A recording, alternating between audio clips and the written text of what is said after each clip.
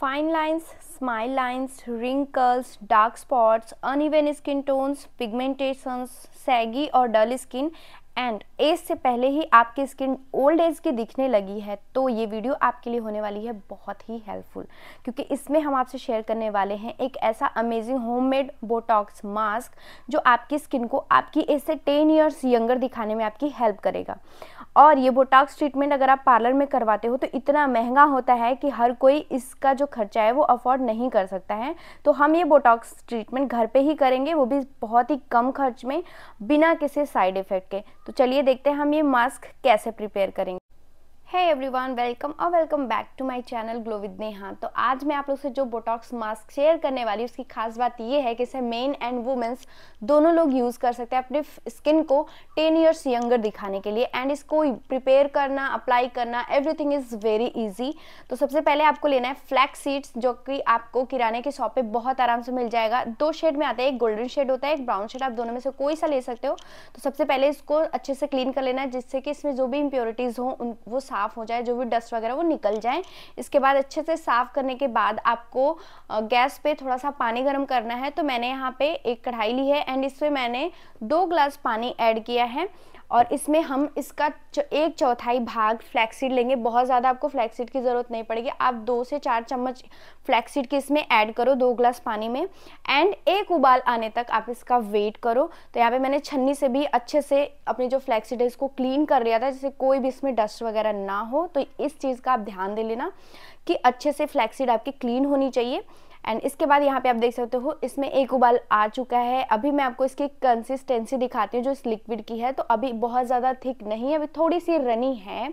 तो हम इसको थोड़ा सा और पकाएँगे थोड़ा सा मीडियम फ्लेम कर देंगे, जिससे कि जो हमारा जेल है, वो अच्छे से थिक फॉर्म में रेडी हो जाए। उसके बाद हम इसको स्टैंड करके निकालेंगे। तो यहाँ पे आप देख सकते हैं, मैंने चम्मच में निकाल के अभी चेक किया। तो भी ये बहुत ज़्यादा थिक नहीं है तो थोड़ा सा हम इसे और पकाएँगे।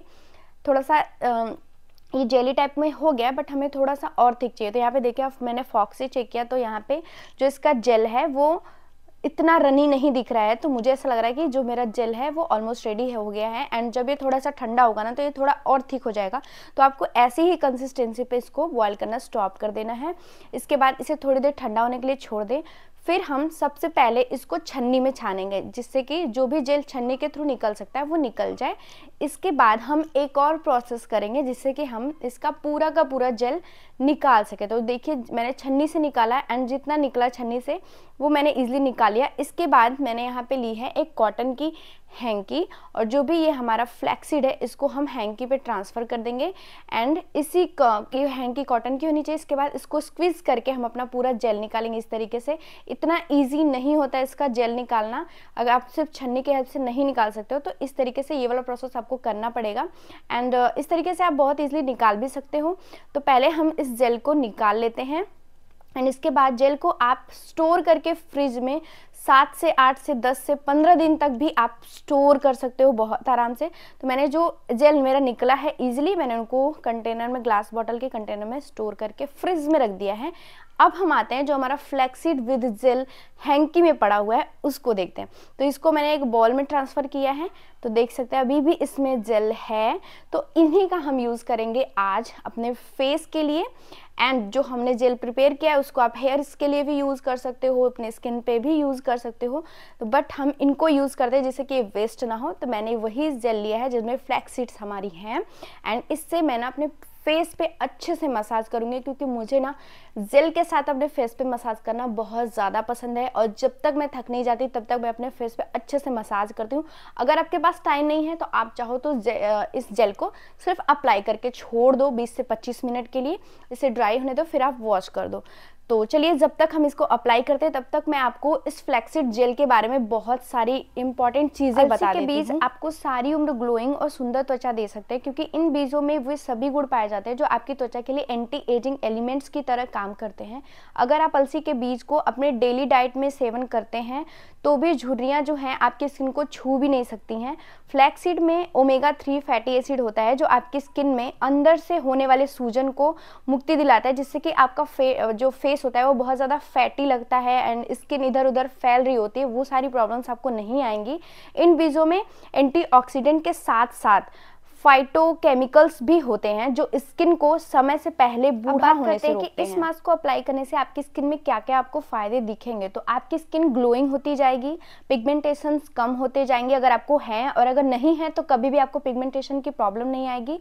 स्किन को गोरा बनाता है ये मास्क और स्किन को हाइड्रेटेड रखता है चेहरे पे आने वाले सूजन से बचाता है। स्किन रिपेयरिंग की जो प्रोसेस होती है उसकी स्पीड को ये बढ़ाता है। इस मास्क को आप और भी इफ़ेक्टिव बनाने के लिए आप चाहे तो इसमें विटामिन ई e की एक कैप्सूल भी ऐड कर सकते हैं। तो यहाँ पे मैंने मास्क अप्लाई कर लिया है और अब हमें कुछ भी बोलना नहीं है, बिल्कुल चुप रहना है और मास्क को 10 से 20 मिनट तक ड्राई होने देना है। तो मैंने अब 20 से 25 मिनट तक के लिए छोड़ा था क्योंकि मुझे कुछ काम भी था एंड अभी जो मेरा मास्क है वो ऑलमोस्ट ड्राई हो गया है। तो अब हम इसको वॉश कर लेते हैं। तो मैंने हल्का सा पानी ऐड किया, इसके बाद जो शीट्स हैं इनको हम रिमूव करेंगे। इसके बाद फेस पे अच्छे से पानी लेके अपने हाथों में मसाज कर लेंगे एंड मसाज आप जितना अच्छा करते हो ना फेस पे उतना ही अच्छा आपके स्किन पे ग्लो आता है। एंड आप रिज़ल्ट देख सकते हो, अभी वॉश करते टाइम में आपको दिख रहा होगा। स्किन काफ़ी फेयर लग रही है एंड ग्लॉसी लग रही है। अगर आप इसको डेली यूज़ करते हो ना, आप अपने फेस पे तो आपकी स्किन आप यकीन नहीं करोगे, बहुत ज़्यादा सुंदर हो जाएगी ग्लोई हो जाएगी। और स्किन का जो फैट है, वो भी कम होने लगेगा धीरे धीरे और झाइयाँ ख़त्म हो जाएँगी। ये देखो, मेरी स्किन काफ़ी ज़्यादा फेयर लग रही थी मुझे। तो मुझे ये मास्क पर्सनली बहुत ज़्यादा पसंद है, इसलिए मैंने आप लोग के साथ शेयर किया है। तो आप चाहो तो इसे आराम से अपने घर पे बना सकते हो और यूज़ कर सकते हो, अपने स्किन की सारी प्रॉब्लम्स को सॉल्व कर सकते हो। सो आई होप गाइज़ कि आपके लिए वीडियो हेल्पफुल रहेगी। तो प्लीज़ लाइक बटन को प्रेस करना मत भूलिएगा और कॉमेंट सेक्शन में आप अपना एक्सपीरियंस बताइएगा। इस मास्क को ट्राई करके और ज़रूर से ज़रूर ट्राई करिएगा और मुझे कॉमेंट सेक्शन में ज़रूर आके बताइएगा कि कैसा लगा आप लोग को इसका रिज़ल्ट तो आई होप कि वीडियो हेल्पफुल रहेगी। तो प्लीज़ वीडियो को लाइक शेयर चैनल पे अगर नए हैं, अभी तक चैनल को सब्सक्राइब नहीं किया तो सब्सक्राइब कर लीजिए ऐसी हेल्पफुल वीडियोस देखने के लिए। तो मेरे चैनल पे आपको देखने को मिलेगा प्रोडक्ट्स रिव्यूज़ एंड इस तरीके के home remedies and how to style makeup tutorials ऐसे रिलेटेड वीडियो आपको देखने को मिलेंगे। तो प्लीज़ चैनल को जल्दी जल्दी सब्सक्राइब करके रखिए। तो देखिए फाइनल रिज़ल्ट कैसा लगा आपको कमेंट सेक्शन में ज़रूर बताइएगा। तो चलिए मिलते हैं हमारे नेक्स्ट वीडियो में। एक ऐसी ही हेल्पफुल वीडियो के साथ तब तक के लिए अपना ध्यान रखिए। Bye bye